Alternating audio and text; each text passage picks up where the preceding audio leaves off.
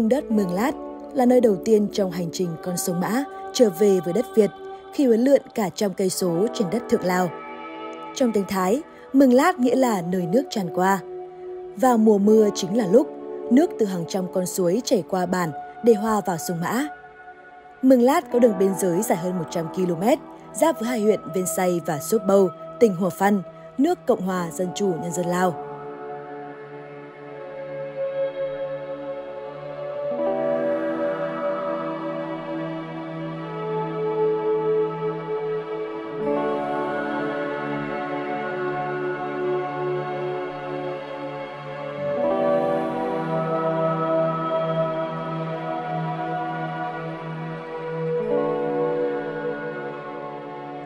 Nhắc đến Mường Lát là nhắc đến một vùng đất nguyên sơ miền biên viễn xa xôi của Tổ quốc, nơi núi non quanh năm mây mù che phủ, nơi những bản làng ẩn hiện bên sườn núi, những thửa ruộng bậc thang chập trung, nơi mang trong mình vẻ đẹp hùng vĩ của núi rừng Sử Thanh.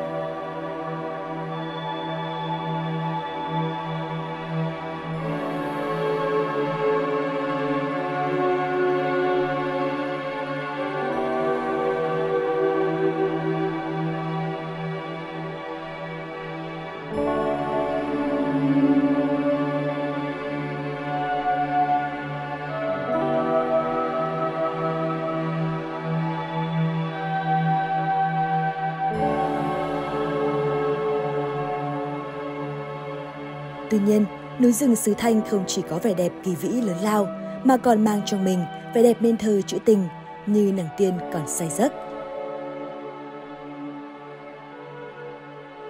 Xuôi về Thường Xuân, mảnh đất Quế Ngọc Châu Thương, không chỉ giàu truyền thống văn hóa mà còn là vùng đất mộng mơ, nơi có những thắng cảnh thiên nhiên làm say đắm lòng người.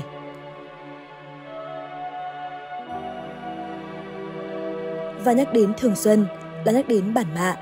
Bản người Thái nằm bên dòng sông Chu hiền hòa thơ mộng, đẹp như một bức tranh thủy mặc với núi đồi bao bọc, nước sông trong xanh, những căn nhà sàn bình dị, nếp mình bên sườn núi,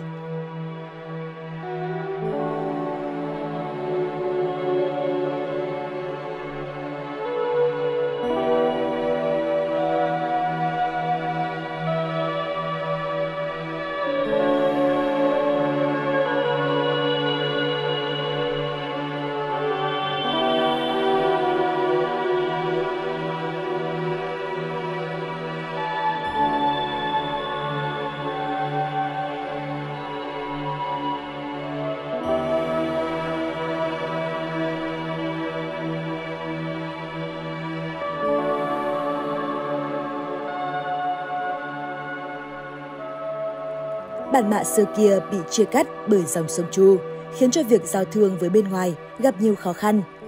Từ khi cây cầu treo được xây dựng và đưa vào sử dụng, cuộc sống của người dân đã đổi khác. Không chỉ giúp việc đi lại thuận lợi, cây cầu còn là điểm nhấn độc đáo trên hành trình của du khách đến với bản mạ.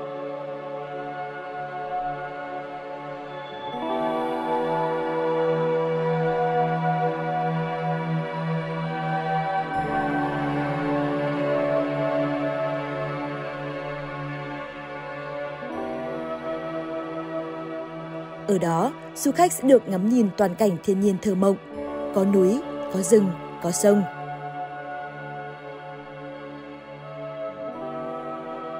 Đứng trên cầu, hít thở bầu không khí trong lành, phóng tầm mắt thật xa để thấy bình yên và cảm nhận trọn vẹn bức tranh phong cảnh nên thơ mà thiên nhiên yêu ái ban tặng cho núi rừng xứ Thanh.